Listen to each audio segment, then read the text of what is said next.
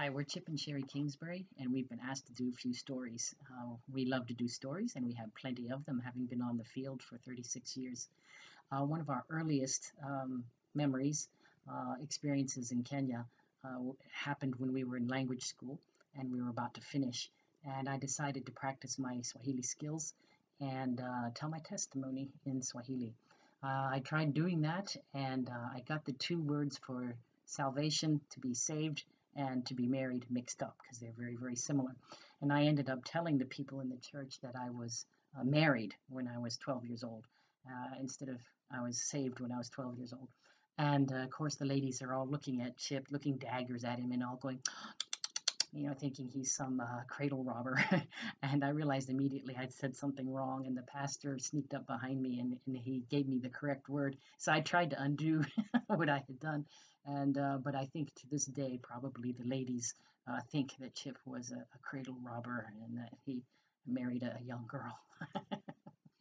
We've also been asked to share about some of our best experiences, and after 36 years on the field, we have a lot of best experiences. But I, I think of uh, one day uh, sitting in a Bible college in southern Sudan in a small town called Kotobi, where I had trained the, the teachers in this Bible school, but now I was sitting with their students and wanting to find out how these students were reacting to the new kind of teaching that these uh, faculty members uh, were doing now that they had been trained for teaching for transformation rather than teaching for information. And uh, so I asked them, you know, what would you do if your uh, if your teacher came back and said, we're going to go back to the way we used to teach before uh, had this training. Well, how would you react? And one of the students looked at me and, with a bit of a smile on his face, said, uh, "We'd kill him and eat him." And uh, of course, not literally serious, but just indicating how much they would never be willing to go back to the old way of teaching. Very, very rewarding. I also think about uh, just very recently, uh, as we were getting ready to come on this furlough that we're on now, uh, meeting uh, with a, the group of young men at Daystar University that I mentor, uh, about 15 to 20 uh, young university male students.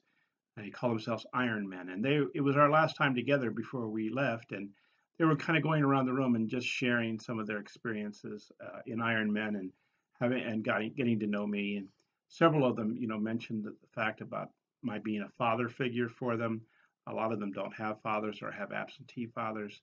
And others just talking about how I that they were able to be friends with a professor, a doctor, a, a lecturer in the university.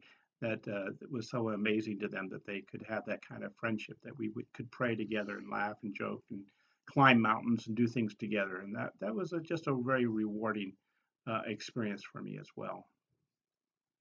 And oh yes, something a single word that uh, kind of sums up being a missionary.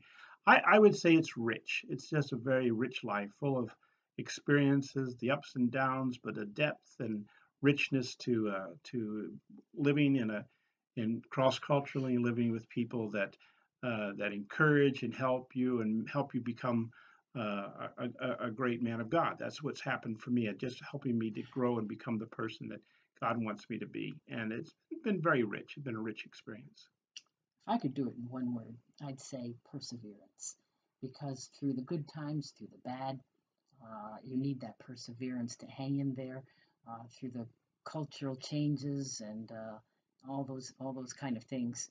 Um, trying to understand people and their ways of doing things and not being judgmental it takes perseverance to go through all of that. So I would probably sum it up in perseverance that handles both the negative and the positive. well, thanks for asking us to share our stories. God bless. Bye bye.